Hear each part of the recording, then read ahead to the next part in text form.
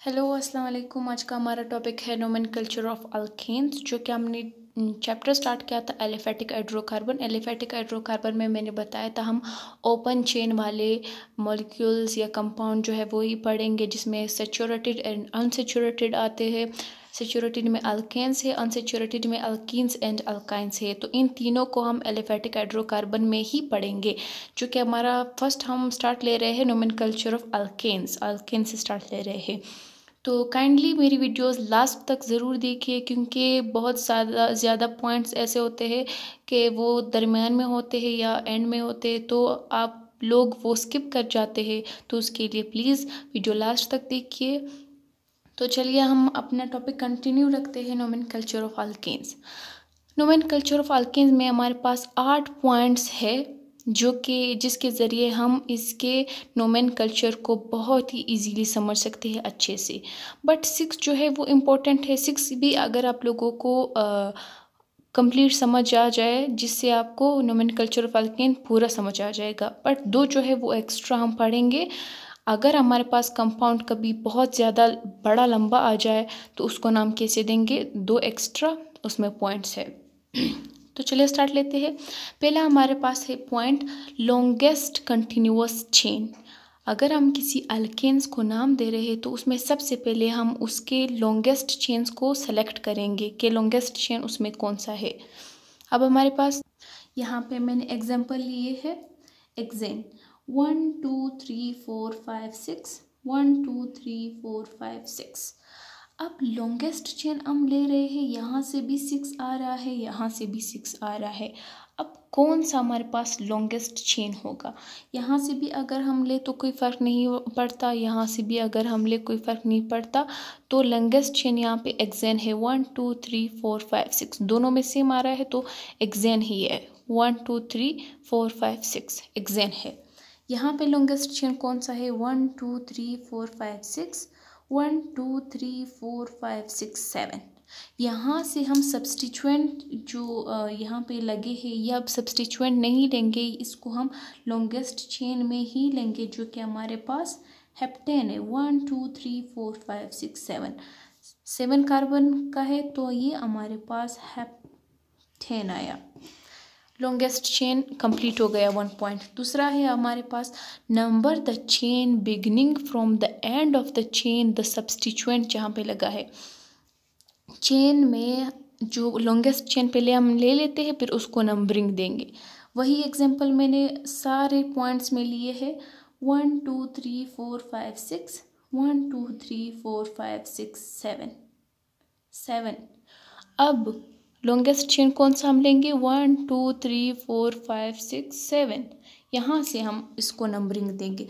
One two three four five six seven longest chain ले लिया.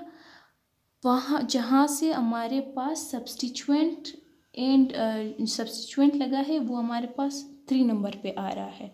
Substituent जहाँ पे लास्ट में होगा, वहाँ से ही हमने ये लिया है नंबरिंग दे रहे हैं. तो थ्री पे हमारे पास सब्सटीचुएंट आ रहा है। अब एक और है। One two three four five six one two three four five six पहले हम लॉन्गेस्ट चेन लेते, फिर नंबरिंग देते हैं। तो लॉन्गेस्ट चेन पहला वाला रूल कंप्लीट करते हैं। सिक्स यहाँ से भी आ रहा है, यहाँ से भी आ रहा है, कोई फ़र्क नहीं पड़ता। बट अगर अगर हम सब्सटीचुएंट की बात करें, कहाँ पे सब्सटीचुएंट आएगा? One two three four five six तो टू पे सब्सटीचुएंट आ रहा है। यहाँ से अगर हम स्टार्ट ले, यहाँ से अगर हम स्टार्ट ले one two three four five six यहाँ पे भी टू पे आ रहा है। ठीक है? तो लॉन्गेस्ट चेन हम ये लेते हैं। वन टू फ़र्क नहीं आता, यहाँ से ले या यहाँ से ले। Three four five six six लिया तो टू पे सब्सटीचुएंट आ रहा है। टू पे ही सब्सटीचुएंट लगा दे। अब थर्ड हमारे पास इसमें आ रहा है कि लोकेशन द सब्सटीचुएंट ग्रुप अब वो सब्सटीचुएंट ग्रुप का लोकेशन कौन सा होगा? पेरेंट नेम जो है वो लास्ट में हम रखेंगे, लिखेंगे। Substituent group preceded by the number designing designating its location on the chain जो हमारे पास पेरेंट नेम होगा वो लास्ट में आएगा। जो सब्सटीचुएंट होगा जहाँ पे उसकी लोकेशन होगी विद नंबर उसका नाम पहले आएगा। अब one two three four five six seven seven वही मॉलिक्यूल हम ले रहे, कंपाउंड ले रहे बट उसको ना देने के रूल बता रहे। पहले हम लोगों ने लॉन्ग चेन ले लिया। दूसरा फिर क्या था कि नंबर देने हैं। One two three four five six seven second rule भी कंप्लीट हो गया। थर्ड क्या कह रहे हैं कि सब्सटीचुएंट का जो है नंबर देना है लोकेशन बताना है। यहाँ पे हमारे पास थ्री पे वन टू थ्री थ्री है थ्री पे हमारे पास सब्सटिचुएंट लगा है। अब हम इसको नाम देंगे three methyl heptane. Three methyl heptane three methyl heptane का नाम दिया। ठीक है, क्योंकि सात कार्बन है।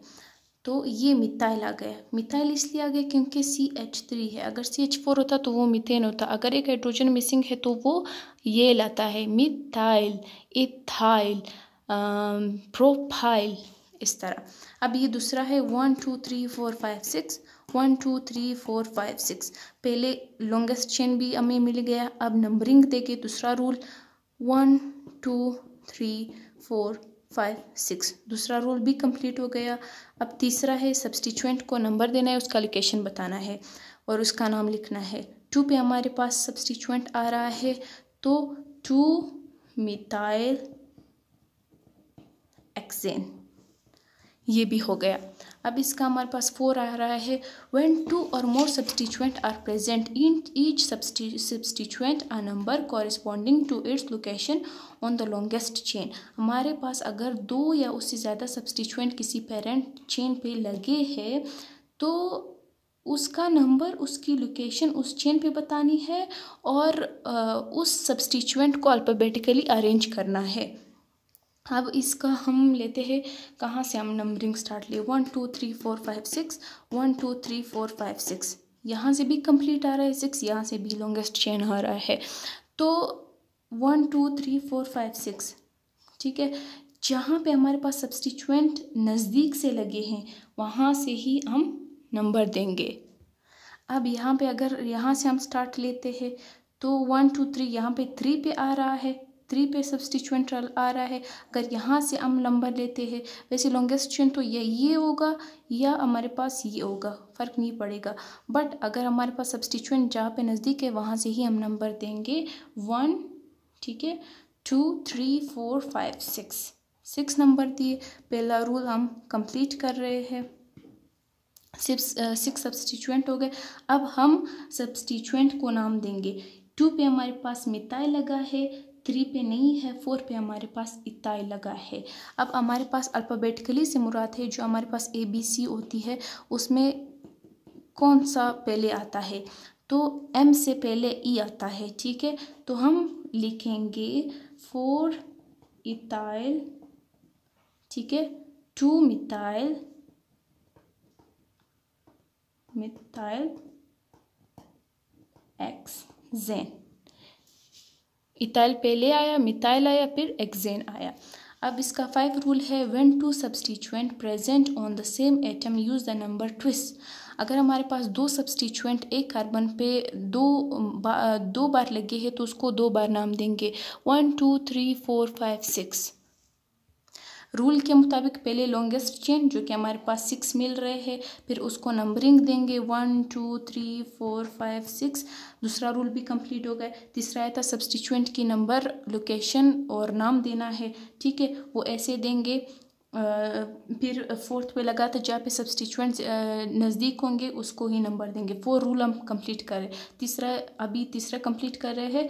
तीसरे में क्या है? मिथाइल भी लगा है, इथाइल भी लगा है। तो हम इसको नाम देंगे, इथाइल। मैंने पहले बोला था कि ई जो है वो पहले आती है।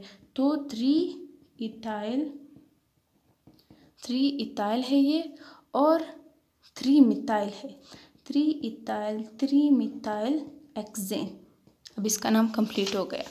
सिक्स इसमें रूल आ रहा है टू मोर सब्सटीचुएंट जो है वो आइडेंटिकल हो। ठीक है?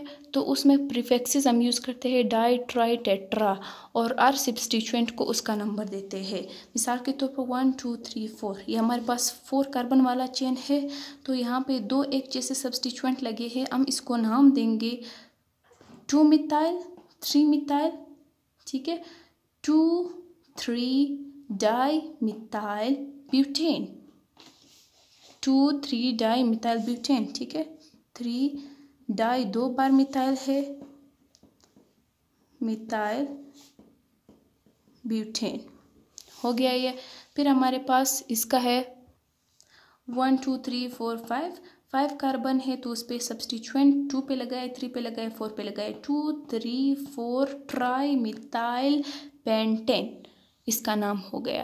वीडियो टाइमिंग काफ़ी कम होती है तो नेक्स्ट वीडियो में पढ़ेंगे इसके दो और रूल जो कि हमारे पास लार्ज मॉलिक्यूल के लिए बहुत इंपॉर्टेंट होते हैं। तो नेक्स्ट वीडियो में आ, मिलते हैं नेक्स्ट टॉपिक के साथ। इसी दो को कंटिन्यू रखते हैं। तब तक के लिए देखते रहिए मेरा चैनल सदा काकर सब्सक्राइब कीजिए मेरा चैनल अगर आप लोगों को मेरी वीडियोज़ पसंद आई हो तो। तब तक के लिए अल्लाह हाफिज़।